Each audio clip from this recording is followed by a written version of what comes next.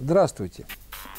Я сейчас хочу вам рассказать, чем э, образование отличается от обучения.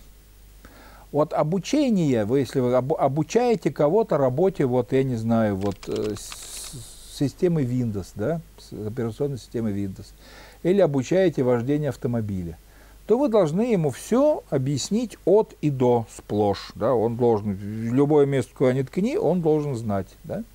Ну, понятное дело, что сразу не получится, он должен поработать с этим Windows или поуправлять машиной, станет опытным водителем, опытным юзером, да.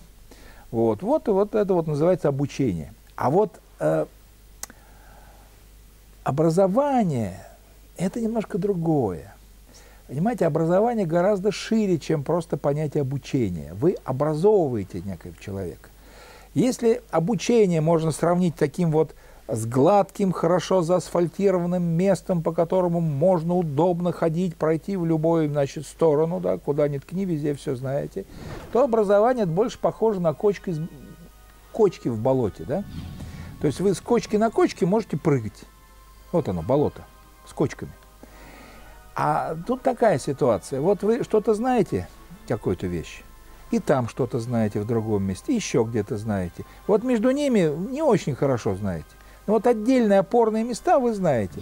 И, в принципе, если уж потребуется где-то, вот, вы можете, это, в принципе, если потребуется, вы можете вокруг этой кочки настелить гать. Слово такое, гать, слышали, да? Вот такие, проложить вокруг какой-нибудь там бревна, ветки, фашины, и, так сказать, увеличить свою вот площадь знаний, да, соединить две соседние кочки, вот. А так с кочки на кочку, с кочки на кочку, с кочки на кочку. Вот это смысл был образования. К сожалению, в наше время вот как-то вот это вот ушло куда-то. И, ну, началось это со школы, наверное. Я буду гундеть, как это называется, гундеть, брызжать, ворчать. Ну, выбирайте любой глагол для обозначения того, что я сейчас буду делать, но план послушайте. А у нас так получилось, что сейчас э, школьники, абитуриенты вузов, в общем-то, не сдают практически экзаменов вступительных.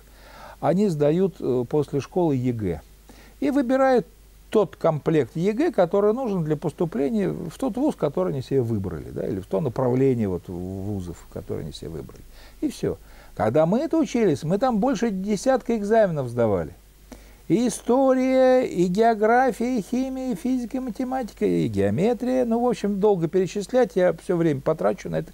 И так человек, вот эти кочки, он во многих вещах соображает. И дальше у него на этой кочке он стоит, у него появляется потребность. Он читал научно-популярные журналы. Да, и причем читали научно-популярный журнал не только, вот так сказать, интеллектуалы, да, люди интеллектуального труда, но и вот люди вот физического труда, рабочие. Журналы пользовались спросом, тиражи у них огромные были.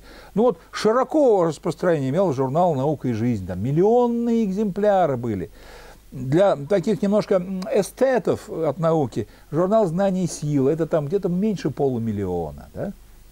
Журнал «Природа» под сотню тысяч или больше. Это уж для самых продвинутых, так сказать, читателей типа меня.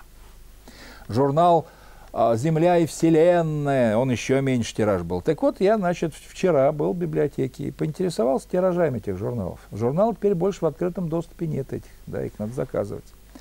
Оказывается, журнал «Природа», тираж что-то меньше 300 экземпляров. Меньше 300 экземпляров. А журнал э, вот это вот «Земля и Вселенная», там чуть больше 200 экземпляров. Представляете? Вот такие вот тиражи стали у этих журналов. И я вот для сравнения, вот это, блоги мои, да, вот эти вот байки смотрят людей больше, чем журналов, чем тираж этих журналов. Несколько сотен их смотрят, там 400, 500, а есть популярные у меня блоги, там по полторы-две тысячи, да, понимаете как? А вот что значит 250-300 э, экземпляров? Это на полмиллиона человек один экземпляр. Все, на один субъект федерации три экземпляра. Удачи вам, всех благ.